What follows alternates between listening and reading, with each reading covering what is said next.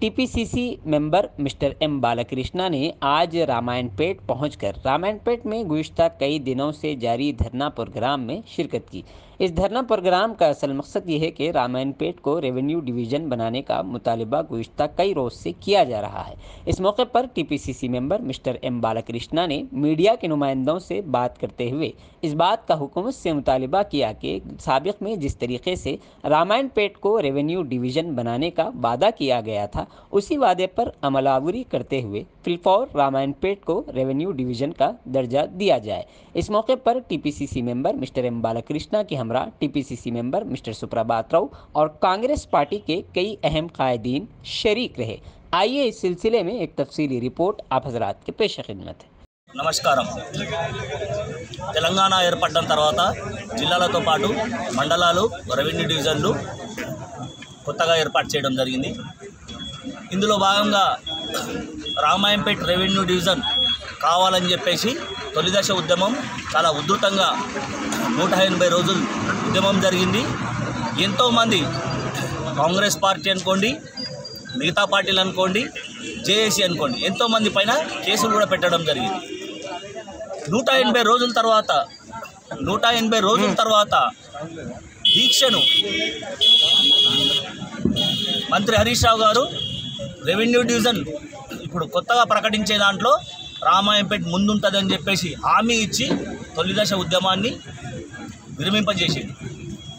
ఇప్పటికీ ఎన్నో సంవత్సరాలు అవుతుంది రామాయంపేట రెవెన్యూ డివిజన్ ఊసేయలేదు అయ్యా హరీష్ రావు గారు ఇక్కడున్న ఎమ్మెల్యే పద్మా దేవేందర్ రెడ్డి గారు మీరు రెవెన్యూ డివిజన్ విషయాన్ని కనీసం ముఖ్యమంత్రి దృష్టికి తీసుకెళ్ళిరా అని చెప్పేసి మాకు డౌట్ వస్తుంది. ఎందుకంటే అబద్ధాలు టీఆర్ఎస్ పార్టీలకు పెట్టినీళ్ళు కాబట్టి వాళ్ళ ఇంట్లోనే పుట్టింది. అబద్ధం అనేది పుట్టింది అంటే వాళ్ళ ఇంట్లోనే పుట్టింది. టీఆర్ఎస్ పార్టీ ఇంట్లో. ఎందుకంటే ఏది చెప్తే అది అబద్ధమే.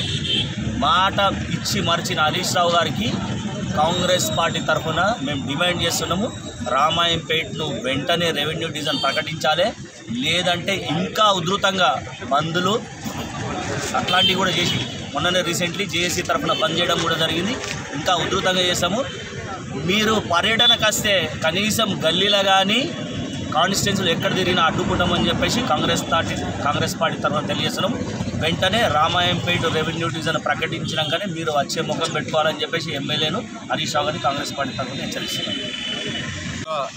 తెలంగాణ రాష్ట్రం ఏర్పాటైన తర్వాత రెండు వేల పదహారవ సంవత్సరంలో రాష్ట్ర ముఖ్యమంత్రి గారు సెప్టెంబర్ నెలలో ముప్పై మూడు జిల్లాలను దాదాపు నలభై రెవెన్యూ డివిజన్లను దాదాపు అరవై ఆరు మండలాలను ప్రకటించడం జరిగింది. అప్పుడే రామాయంపేట రెవెన్యూ డివిజన్ కేంద్రంగా చేయాలని గతంలో తాలూకా ఉండే నియోజకవర్గ కేంద్రంగా ఉండే అంజయ్ గారు ముఖ్యమంత్రిగా ప్రాతినిధ్యం వహించిన చారిత్రాత్మక ప్రాంతం కాబట్టి రెవెన్యూ డివిజన్ ఏర్పాటు చేయాలని ఆ రోజు మొట్టమొదట నేను ఆమరణ నిరాదీక్ష చేయడం జరిగింది సెప్టెంబర్లో.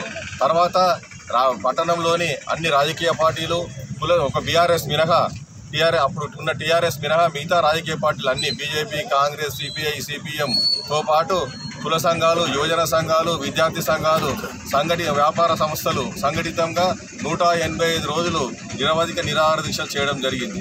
దాన్ని హోలీ పండుగ రోజు హరీష్ రావు గారు కుట్రబన్ని నేను మా ఇంటికి వచ్చినట్టయితే మినిస్టర్ క్వార్టర్స్కి వచ్చినట్టయితే నేను మీతో స్పష్టంగా మాట్లాడి మీ దీక్ష విరామంపై చేస్తాను ఎక్కడ రెవెన్యూ డివిజన్ ఇచ్చినా రామాపేటను మొట్టమొదటి రెవెన్యూ డివిజన్ కేంద్రంగా ప్రకటిస్తానని చెప్పి పత్రికా సోదరుల సమక్షంలోనే హరీష్ రావు గారు తన ఇంటి వద్ద ప్రకటించడం జరిగింది. ఆయన మాటను స్థానిక శాసనసభ్యురాలి మాటను గౌరవించి ఆ రోజు రామాయంపేట పట్టణ పౌరులందరం ఈ రెవెన్యూ డివిజన్ వచ్చే మండలాల ప్రజలందరము వాళ్ళని గౌరవించి ఆ రోజు దీక్షలు విరమించడం జరిగింది. కానీ ఎక్కడ వేసిన గొంగలు అక్కడనే ఉన్నట్టు వాళ్ళు తర్వాత రెండు జిల్లాలను ప్రకటించడం జరిగింది. దాదాపు ఆరు రెవెన్యూ డివిజన్లను ప్రకటించడం జరిగింది. పద్నాలుగు పదిహేను మండలాలను ప్రకటి మొన్నటికి మొన్న రెండు మండలాలను ప్రకటించడం జరిగింది. కానీ రామాయంపేట ఊసేలేదు అసలు హరీష్ రావు గారు పద్మాదేవేంద్ర రెడ్డి గారు స్పష్టంగా ఈ ప్రాంతంపై కుట్ర పని మెదక్ నియోజకవర్గంలో ఎట్టి పరిస్థితుల్లో అభివృద్ధి జరగకూడదు. మెదక్ ఇట్లనే వెనుకబడి ఉంటే మా పార్టీ శాశ్వతంగా గెలుస్తూనే ఉంటుంది. ఈ ప్రజలు ఇక్కడ ప్రజలు అమాయకులు గొర్రెలలాగా మాకు ఓట్లేస్తారని వాళ్ళు కలలు కంటున్నారు దాన్ని ఖచ్చితంగా కాంగ్రెస్ పార్టీ తిప్పికొడుతుంది.